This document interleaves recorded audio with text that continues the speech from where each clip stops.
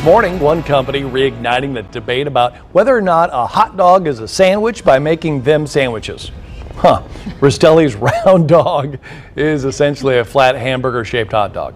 The man who created it says he came up with the idea after running out of hot dog buns at a barbecue. Uh huh.